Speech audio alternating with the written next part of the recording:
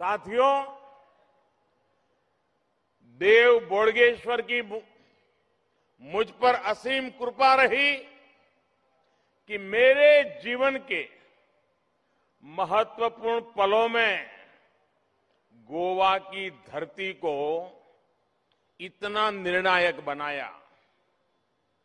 आज जो आप मुझे जिस रूप में देख रहे हैं ना,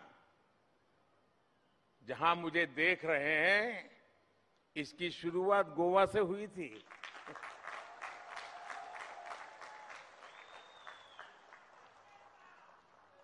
जून 2013 में यहाँ भारतीय जनता पार्टी की कार्य समिति थी।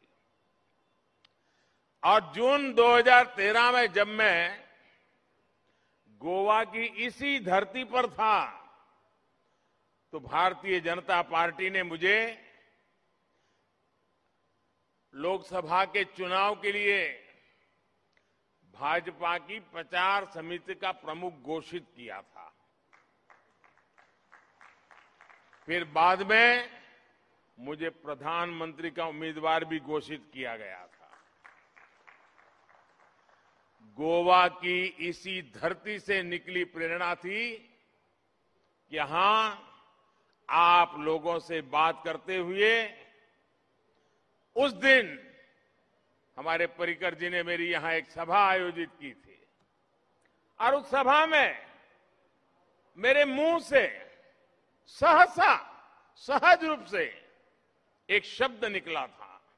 वो शब्द था, कांग्रेस मुक्त भारत।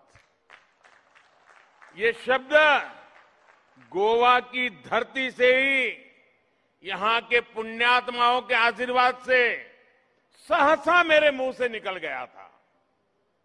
और हमने देखा, आज ये शब्द देश के कोटि कोटि नागरिकों का संकल्प बन गया है।